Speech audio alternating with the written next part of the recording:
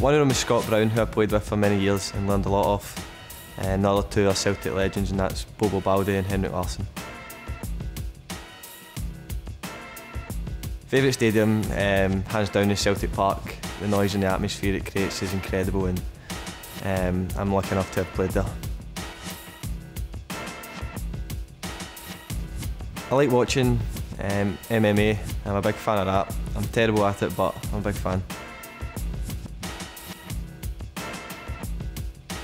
Gerry Cinnamon, hands down. I think he's brilliant. And what he's doing now is incredible, and he's going to take over.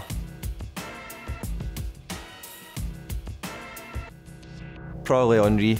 Um, I remember these all the goals he scored as well, and you watch him in match of the day and that. So when you're growing up, you watch match of the day, and he was always scoring great goals. So yeah, probably him.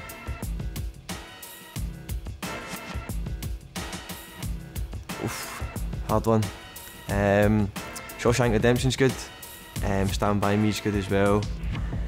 And to be honest, Mamma Mia films are brilliant, so.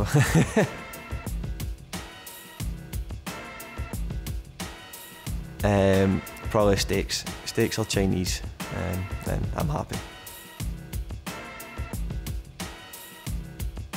I just wear a tracksuit. I get slagged rotten for it. I just wear Adidas tracksuit every single day, so yeah, I'm so plain. I dress plain, all black every day. Just spending time with family and friends, that's what makes me happy. Um, the people around you, the people close to you, so as long as I'm with them, I'm happy.